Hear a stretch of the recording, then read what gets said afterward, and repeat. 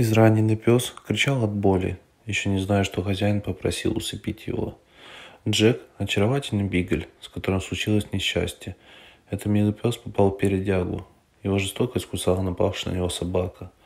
С кровоточащими ранами он был доставлен в одну из клиник, еще не догадываясь о том, что его ждет предательство. Глаза полные боли. Увидев израненную собаку, доктора принялись осматривать пса. Джек скулил от боли всякий раз, когда до дран дотрагивались. Все тело бедного питомца было покрыто укусами, которые нанес ему во время атаки какой-то пес. Испытывая страх и сильную боль, Бигель смотрел на людей глазами, в которых читалась невероятная тоска и отчаяние. Пока ему брили спинку, чтобы обработать раны, Джек едва не плакал от всего происходящего. Далее настал черед рентгена, которого немного побаивались ветеринары.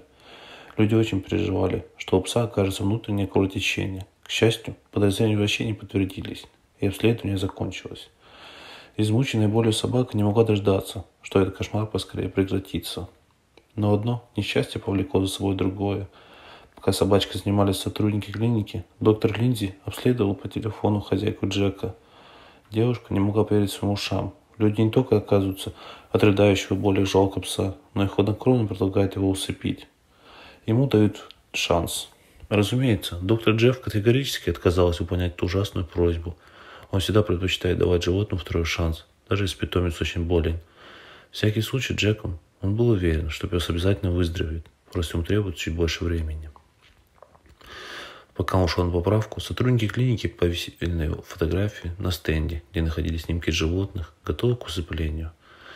Информация о нем также разместили в интернете. Доктор Джефф рассказал, что так делается всегда, когда хозяин равнодушно отказывается от питомца. И эта система срабатывает идеально – и действительно, через шесть недель случилось чудо. Наш герой не только выздоровел, но и попал в хорошие руки.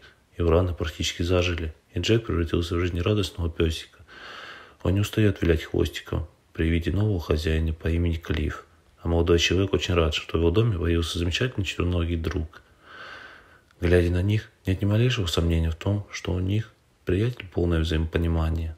А ну а мы искренне благодарны доктору Джеффу за то, что он не пошел на поводу предыдущего горе хозяина и сохранил жизнь одному самому песику.